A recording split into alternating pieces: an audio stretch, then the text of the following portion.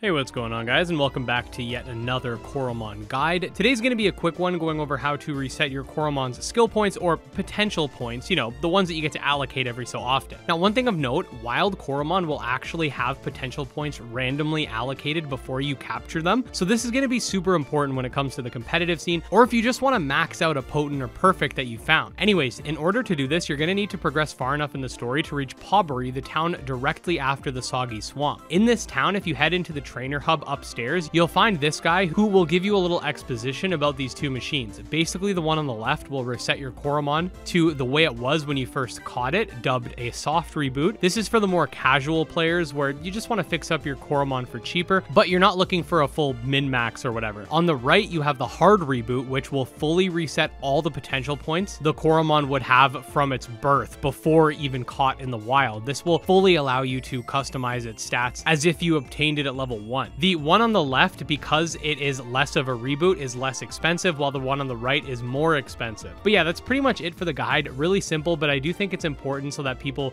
don't have to wander aimlessly looking for this character. So I do hope it was helpful for you. Let me know what guide you'd like to see next. I've got a ton planned, and yeah, make sure to subscribe for more Monster Taming content. Special thanks to my patrons, Jim Hamilton, Stealcase, and Dark Persona especially.